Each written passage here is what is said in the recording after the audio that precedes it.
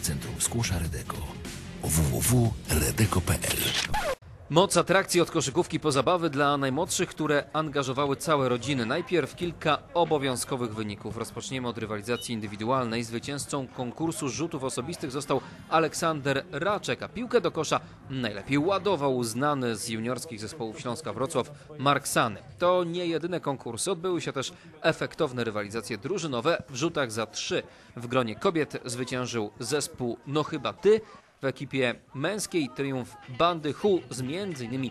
Jankiem Grzelińskim w składzie. Podium 20. edycji wrocławskiego turnieju koszykówki ulicznej Street Basket 2016 w kategorii Open, czyli tej najbardziej prestiżowej, wygląda następująco. Pierwsze miejsce dla Gumi Jagód, drugie dla Zdolnego Śląska i trzecie dla bandy Hu.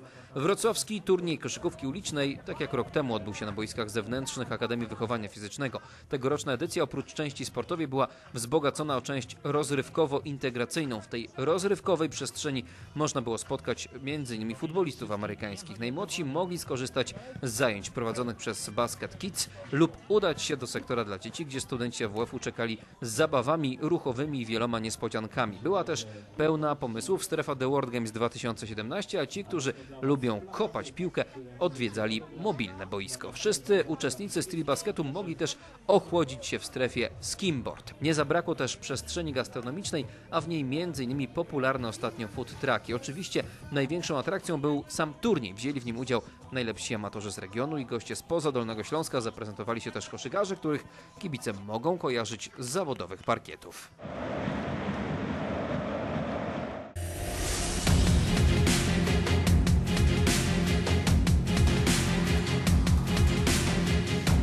Nowe Centrum Skłosza Redeko www.redeko.pl